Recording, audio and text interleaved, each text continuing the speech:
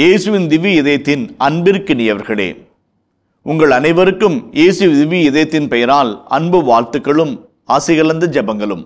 திருப்பாடல் நூற்றி முப்பத்தி நான்கு மூன்றாம் வசனம் இப்படியாக சொல்கிறது.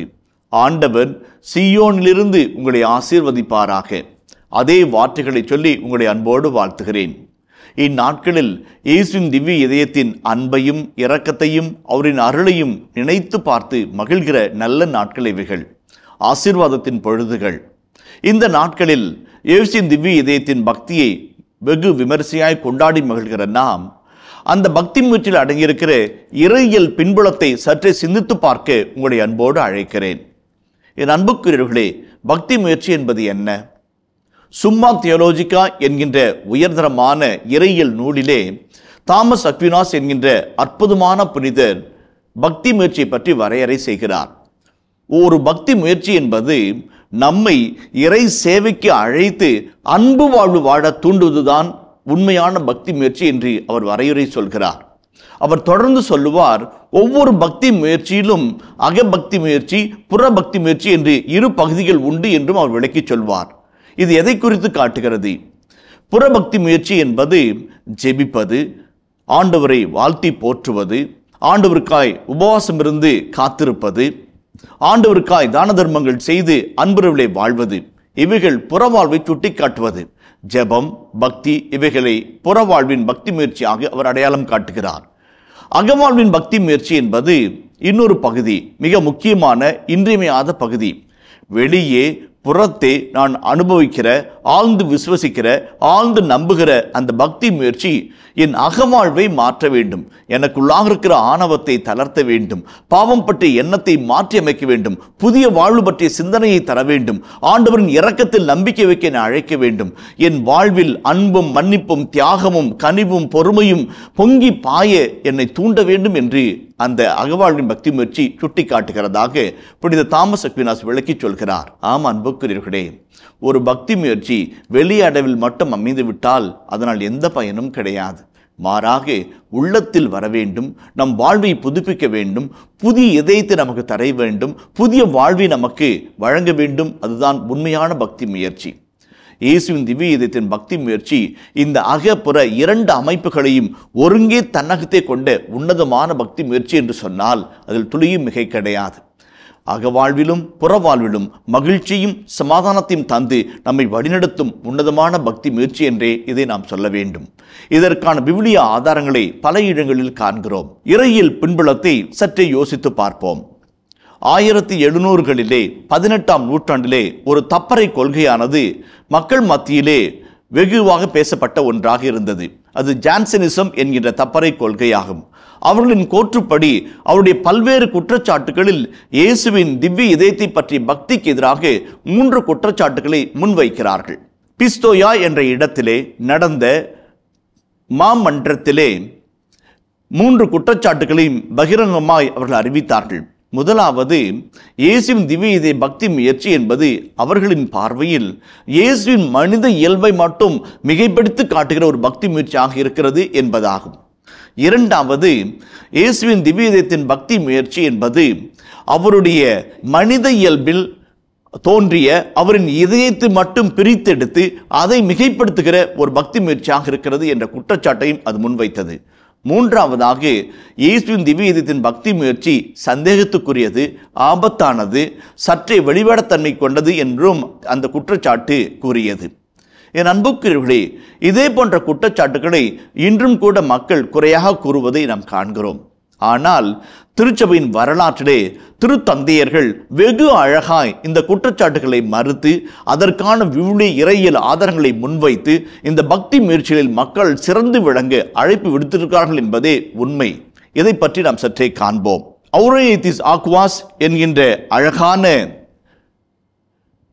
திருத்தந்தையின் திருமடல் ஆயிரத்தி தொள்ளாயிரத்தி ஐம்பத்தி ஆறாம் ஆண்டு வெளியிடப்பட்டது. இதில் திவ்ய இதயத்தின் பக்தி முயற்சிக்கான இறையியல் விவிலிய பின்புலங்களை ஆதாரங்களை வெகு அழகாய் அது படம் பிடித்து காட்டியது. அதை போலவே ஆறாம் பயஸ் அவர்கள் அக்தோரும் ஃபிதேயி என்ற திருமடலே இயேசுவின் திவ்ய இதயம் இணையில்லா கடவுளின் அன்பின் இருப்பிடமாக இருக்கிறதை சுட்டி காட்டினார் அதை போலவே திருத்தந்தை பதிமூன்றாம் சிங்கராயர் அன்னும் சாக்ரோம் என்கின்ற திருமடலிலே இயேசுவின் திவ்ய இதத்தின் பக்தி முயற்சி பற்றி அழகான கருத்துக்களை அற்புதமாய் வெளியிட்டிருக்கிறார்.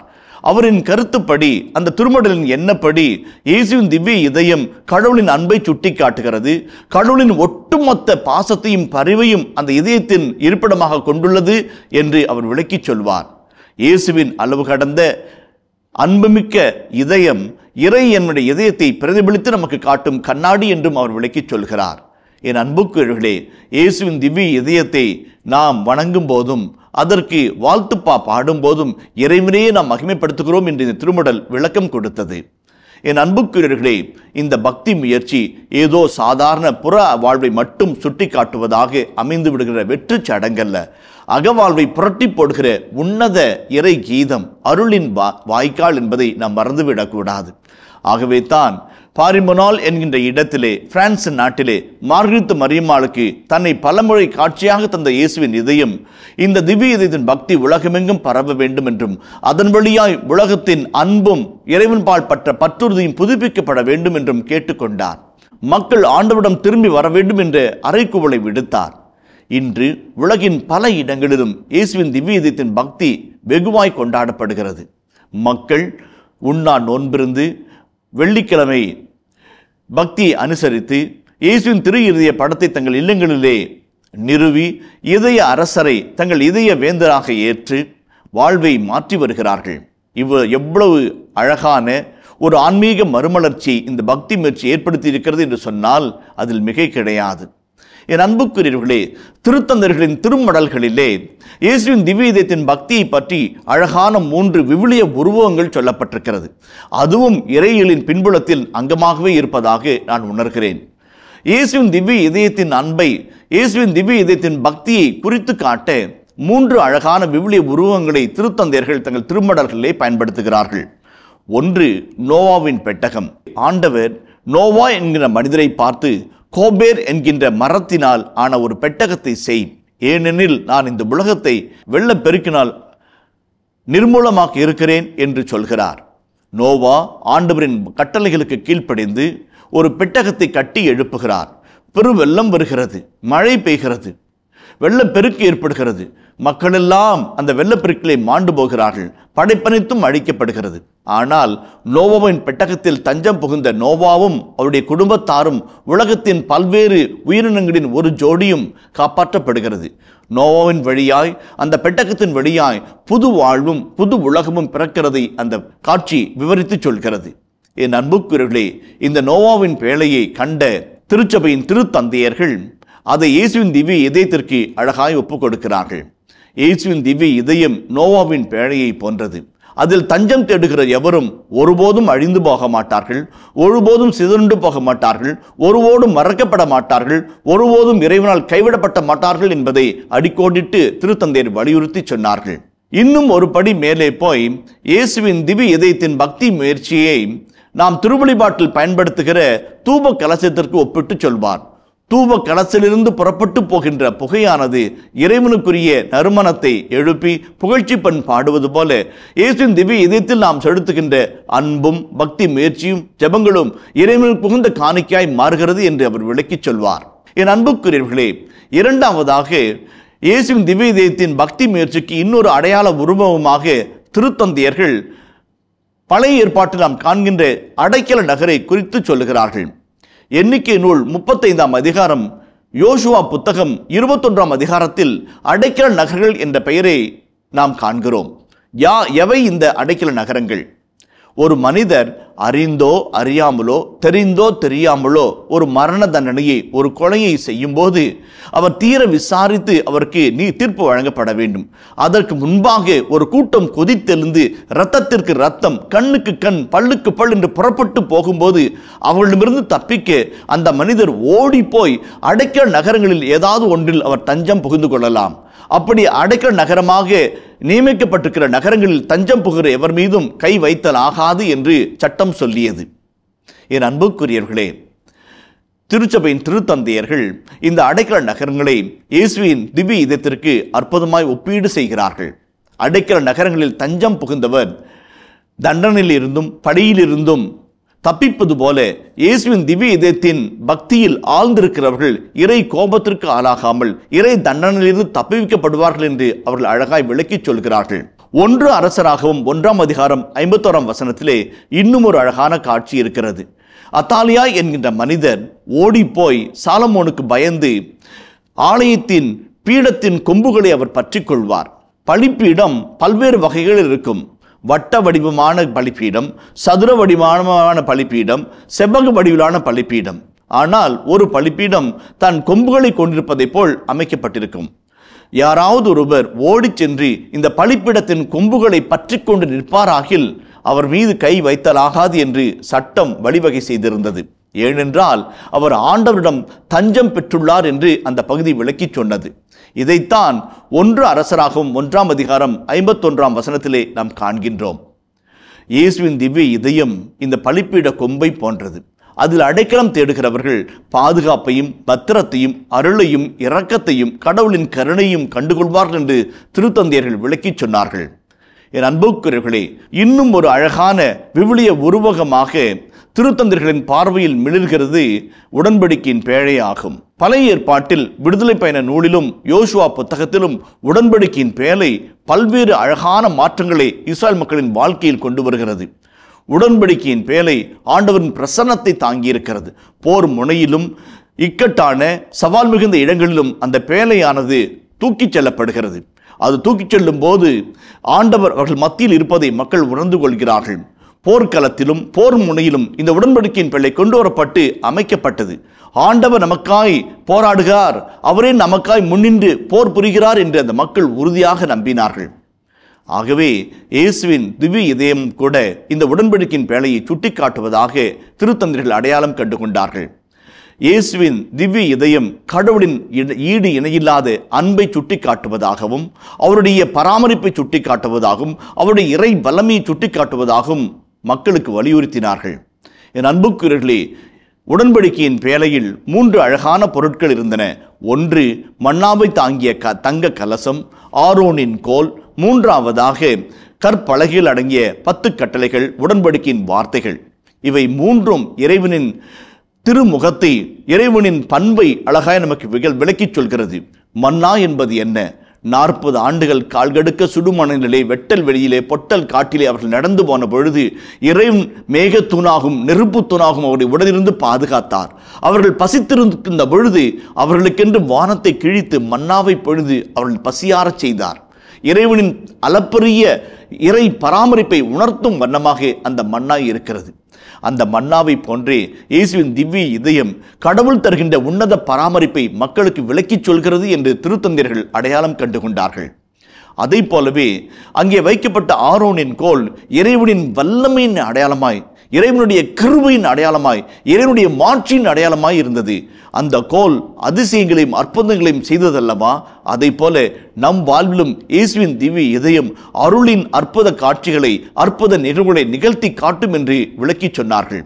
மூன்றாவதாக உடன்படிக்கையின் வார்த்தைகளை கற்பலகைகளை எழுதி அதில் வைத்திருந்தார்கள்.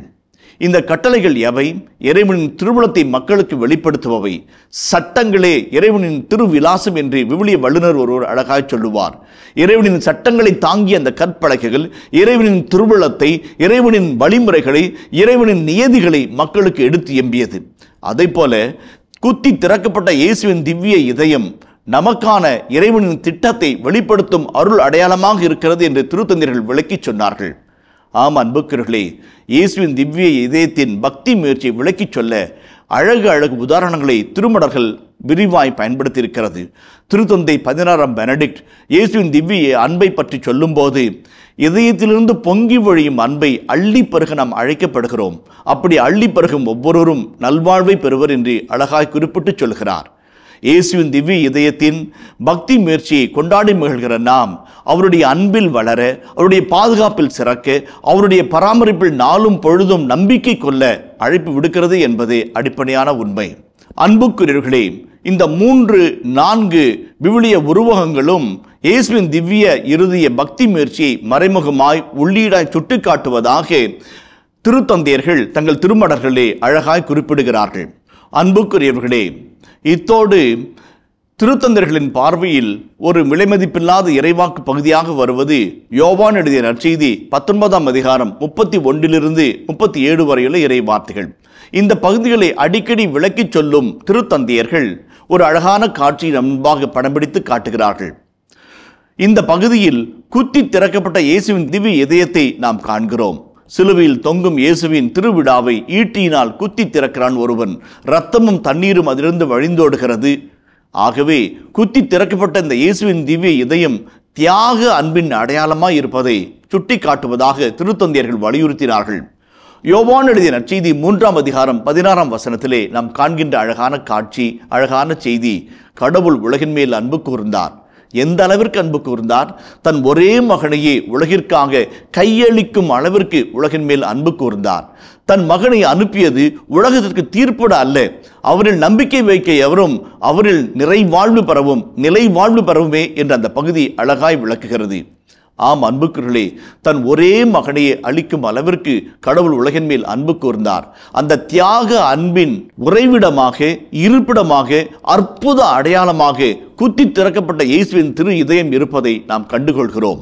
அதை போலவே அன்புக்குரியர்களே யோவான் எழுதிய நற்செய்தி பத்தாம் அதிகாரத்தில் நல்ல ஆயன் பற்றிய ஓமையை இயேசு ஆண்டவர் விளக்கிச் சொல்வார். அந்த உருவகத்திலே நல்ல ஆயன் தன் ஆடுகளை அறிவான் தன் ஆடுகளை பெயர் சொல்லி அழைப்பான். அவையும் அவன் குரலுக்கு கேட்கும் என்று விளக்கிச் சொல்கிற இயேசு ஆண்டவர் என் ஆடுகளுக்காக நான் என் உயிரையும் கொடுக்கிறேன் என்று அழகாய் சொல்வார் தன் ஆடுகளுக்காக உயிரை கொடுக்கும் அந்த ஆண்டவர் பற்றிய அந்த செய்தி எங்கே நிறைவேறுகிறது? குத்தி திறக்கப்பட்ட இயேசுவின் திரு இதயத்தில் ஈடேறுகிறது. தன் ஆடுகளுக்காக உயிரி இந்த நல்ல ஆயினின் இதயம் இயேசுவின் குத்தி திறக்கப்பட்ட இதயம் என்பதை திருத்தந்தைகள் அடிக்கோடிட்டு காண்பித்தார்கள். குத்தி திறக்கப்பட்ட இந்த இதயம் இயேசைய இறைவாக்கு புத்தகம் ஐம்பத்தி மூன்றாம் அதிகாரம் ஐந்தாம் வசனத்தில் இருக்கின்ற இறை செய்தியை நிறைவேற்றுவதாக ஈடேற்றுவதாக அமைகிறது. அவர் நமக்காய் காயப்பட்டார் நமக்காக நொறுக்கப்பட்டார் நம்மை நலமாக்கும் தண்டனை அவர் மீது விழுந்தது. அவரது காயங்களினால் நாம் குணமடைந்தோம் என்ற இறைவாக்கு பகுதியின் நிறைவாக குத்தி திறக்கப்பட்ட இயேசுவின் திவ்ய இதயத்தை திருத்தந்தையர்கள் அடையாளம் காட்டினார்கள். குத்தி திறக்கப்பட்ட இயேசுவின் இதயம் தியாக அன்பின் அடையாளம். நமக்காய் நாம் பாவிகளாக இருந்தபோதும் நமக்காய் கடவுள் தன் உயிரை ஈந்தார் என்று ரோமியர்கள் திருமடலிலே பவுலடிகளார் அடிக்கோடிட்டு சொல்வார் அதேபோல் கொலோசியர் திருமடல் ஒன்றாம் அதிகாரம் இருபதாம் வசனத்திலே விண்ணிலுள்ளவை மண்ணிலுள்ளவை அனைத்தையும் இயேசு தன்னுடைய இரத்தத்தினால் கடவுளோடு ஒப்புரவாக்கினார் என்ற அந்த பகுதி விளக்கிச் சொல்கிறது. வழிந்தோடிய இரத்தமும் தண்ணீரும் ஒப்புரவின் அடையாளம் அல்லவா?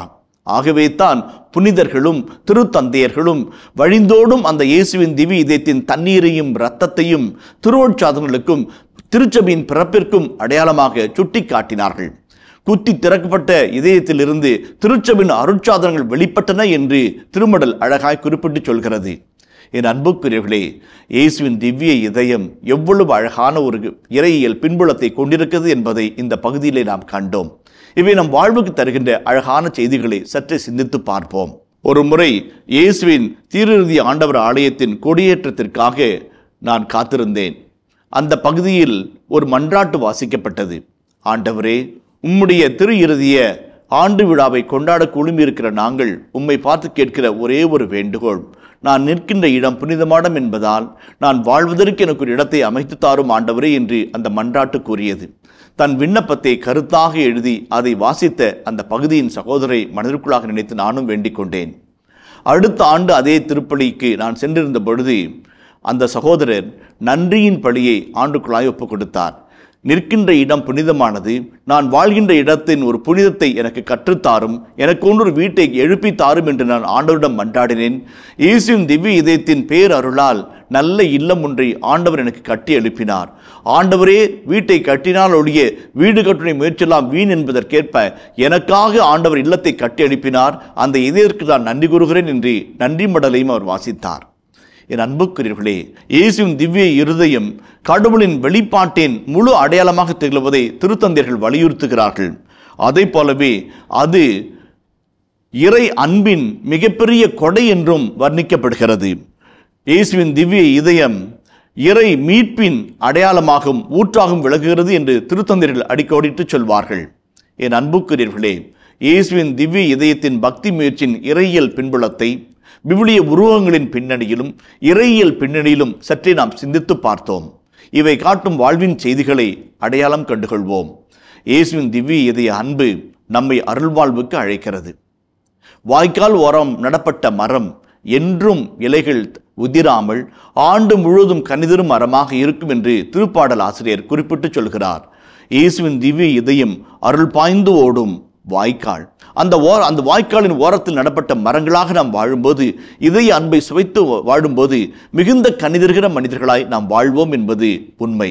கலாத்திருக்கிற திருமடல் ஐந்தாம் அதிகாரம் இருபத்தி ரெண்டு இருபத்தி மூன்று வசனங்களிலே ஆவியின் கனிகளை பவுலடிகளார் பட்டியலிட்டு சொல்கிறார் அன்பு பரிவு கனிவு சமாதானம் மகிழ்ச்சி என்று பட்டியல் நீண்டு கொண்டே போகிறது.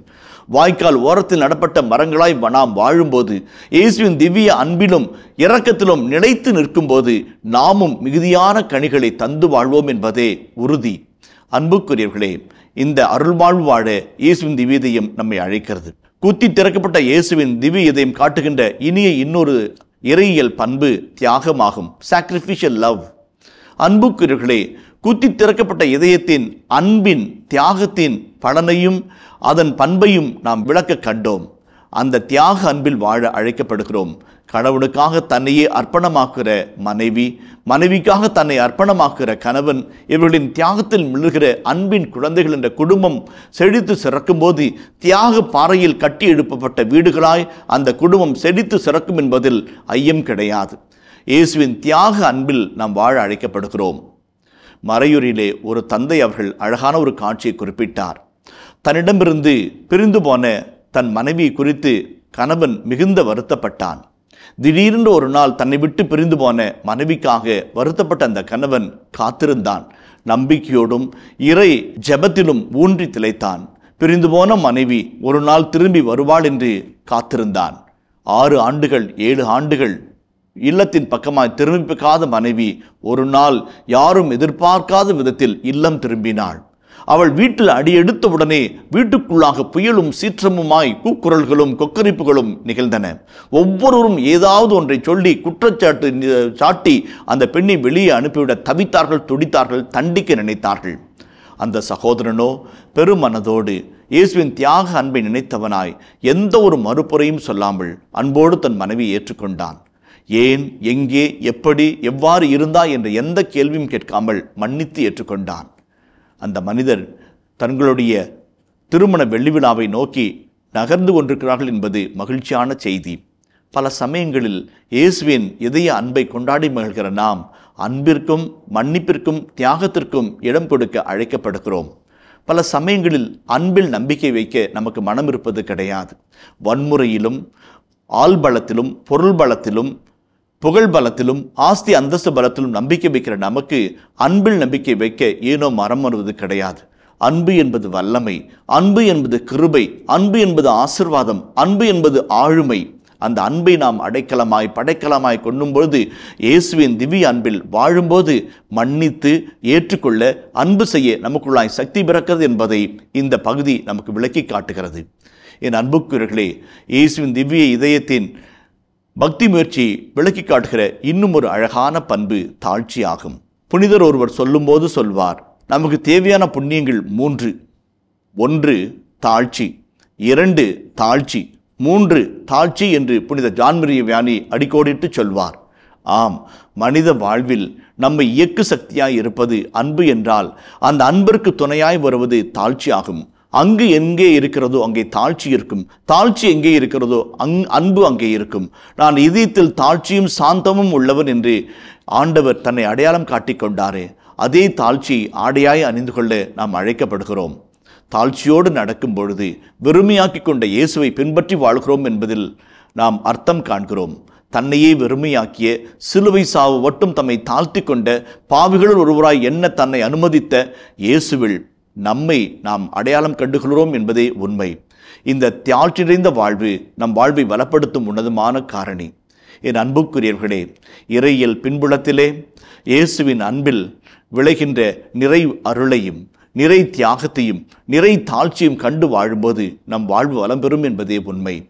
ஆண்டவரில் மன்றாடுவோம். ஆண்டவர் தாமே ஒரு தியாகமுள்ள அன்பு மிகுந்த தாழ்ச்சி மிகுந்த இதயத்தை நமக்கு தரும்படியாய் மன்றாடுவோம். அந்த தியாக அன்பிலும் தாழ்ச்சியடைந்த உள்ளத்திலும் அன்பு வாழ்விலும் தலை சிறந்து விளங்குவோம் கனிகள் தந்து வாழ்வோம். இயேசுவின் தீவி எதையும் நம் ஒவ்வொருவரையும் ஆசீர்வதிப்பதாக. ஆமேன்.